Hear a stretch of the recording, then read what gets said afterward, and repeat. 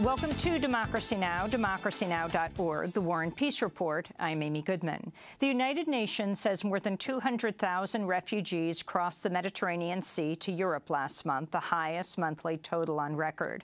More people made the dangerous crossing in October than in all of last year. Over the course of a single day last month, more than 10,000 people arrived in Greece. UN officials say the record flows expected to continue next year amidst upheaval in Syria, Afghanistan, Afghanistan, Iraq, and other countries. President Obama has made his first public comments on his decision to deploy U.S. Special Operations Forces to Syria. Speaking on NBC's Nightly News, Obama denied the move breaks his pledge not to put troops on the ground. Keep in mind that we have run special uh, ops already. And really, this is just an extension of what we're uh, continuing to do. We are not putting U.S. troops on the front lines fighting firefights with ISIL. But I, I've been consistent throughout that we are not going to be fighting like we did in Iraq with a uh, battalions and, and occupations. That doesn't solve the problem. The Israeli military has shut down a radio station in the occupied West Bank, destroying equipment, confiscating transmitters, and accusing the station of inciting violence against Israelis. Al Hurriyah radio station director Ayman Kawasme told the Associated Press, quote, We didn't incite, we just reported the Israeli daily crimes against our people in Hebron. They want to silence our voice, he said. On Monday, a 22-year-old Palestinian was shot dead after Israeli authorities accused him of stabbing and seriously wounding an Israeli man in the coastal city of Netanya. Hours earlier, a 19-year-old Palestinian was arrested for stabbing and wounding three people near Tel Aviv. The corporation behind the Keystone XL oil pipeline has asked the Obama administration to suspend its long-running review of the controversial project. On Monday, TransCanada told the State Department it wants to wait until Nebraska, a state along the pipeline's route, gives its approval. But critics say TransCanada is trying to buy time until President Obama leaves office, since Obama is expected to reject the pipeline. We'll speak to Bill McKibben, founder of 350.org, after headlines. President Obama has announced a series of steps to help release prisoners readjust to society. Speaking during a visit to a treatment center in Newark, New Jersey, Obama said he was banning the box, barring federal agencies from asking potential employees about their criminal records on job applications. The federal government I believe, should not use criminal history to screen out applicants before we even look at their qualifications. We, we can't dismiss people out of hand simply because of a mistake that they made in the past. Over the past few days, the Obama administration's released more than 6,000 federal prisoners early, marking the largest one-time release from federal prison in history. President Obama signed a two-year bipartisan budget deal averting a potential default and raising the debt limit until after he leaves office. The deal boosts military spending caps while cutting Social Security, disability benefits, and Medicare payments. New revenue would come from sales of U.S. oil reserves and the use of public airwaves by telecommunications firms. The Pentagon spent nearly $43 million on a gas station in northern Afghanistan. A U.S. Special Inspector General says the Obama administration has not explained why it spent so much taxpayer money on the project. The station was built as part of an effort to show cars in Afghanistan could run on compressed natural gas. The Pentagon says it lacks the, quote, personnel experience to address questions about $43 million price tag. Iraqi politician Ahmed Chalabi, who played a key role in pushing for the 2003 U.S. invasion of Iraq, has died at the age of 71.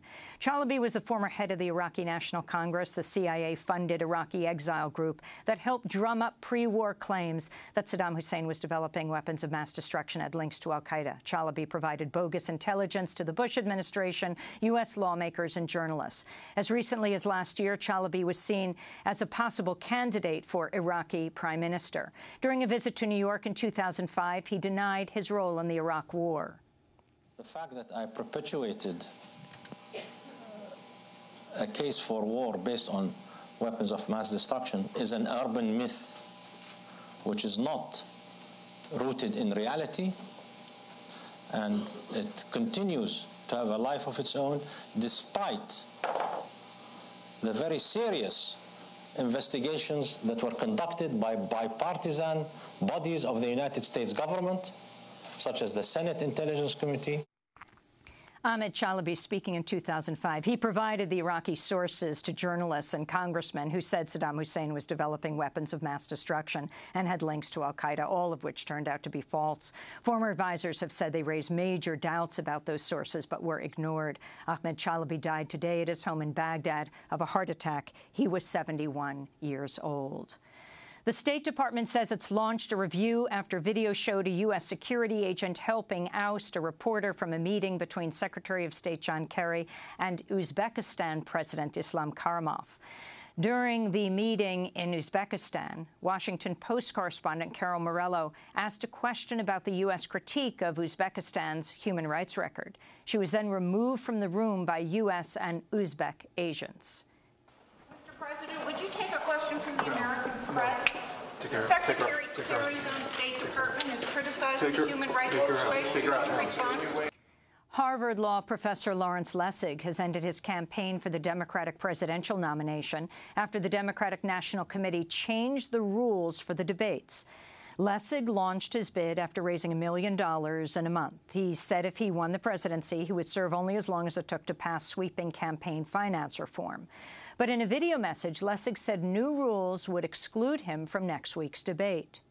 Until this week, the rule was three polls, finding me at 1% in the six weeks prior to the debate. Last week, we began to get close. Two polls found me at 1%, one more, and I would be in the second debate under the original rule. But under the new rule, the standard is three polls at least six weeks before the debate. That means I would have had to have qualified at the beginning of October, which means that nothing that happens now could matter. Under this new rule, I am just shut out. Efforts by Republican presidential campaigns to control the format of the debates appear to have collapsed after a number of campaigns refused to sign a list of demands for TV networks. Republican candidates Donald Trump, Carly Fiorina, New Jersey Governor Chris Christie, and Ohio Governor John Kasich all refused to sign a letter detailing terms for future debates. The short-lived revolt after last week's CNBC debate had pitted the campaigns against the Republican National Committee. In a victory for transgender rights, federal officials have determined an Illinois school district violated the anti-discrimination law Title IX by preventing a transgender girl from showering and changing without restrictions in the girls' locker room. The student was forced to use private facilities instead.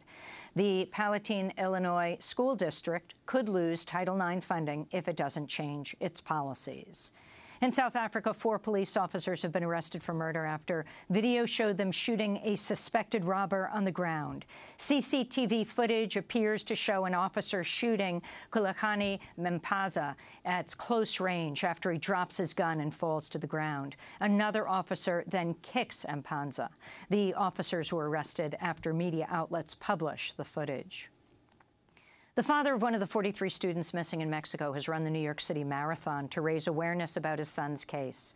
Antonio Tizapa ran along with Amado Tlatempa, another relative of the students, who've been missing for more than a year following an attack by local police in the state of Guerrero.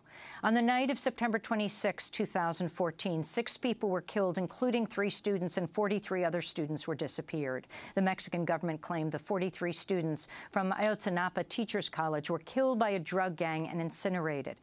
But after an expert panel questioned that account, the Mexican government has reopened the investigation. Speaking after the marathon Sunday, Antonio Tizapa said he hoped to use running as a way to call for his son to be returned alive. In the world of sports, I think a large percentage of people are not focused on political issues. So if it is something sports related, they're going to pay attention. Anything related to sports. So that's why I wanted to do this through sports and through athletics, which is something so marvelous for people who run. And it is also a way to catch people's attention and see that a father of one of the 43 boys is running and demanding the return of his son and the other boys alive and justice for the three boys who are dead. It's Election Day today as voters across the United States cast their ballots on local races and ballot initiatives. Among the key issues at stake are campaign finance measures in Maine and Seattle, Washington, an initiative to legalize marijuana for both medical and personal use in Ohio, and a proposal in San Francisco to limit short-term rentals, a possible blow to the home-sharing website Airbnb. On the eve of the vote Monday, housing activists occupied Airbnb's San Francisco headquarters, saying the firm's model fuels gentrification, and homelessness. And those are some of the headlines. This is Democracy Now!, democracynow.org, The War and Peace Report. I'm Amy Goodman.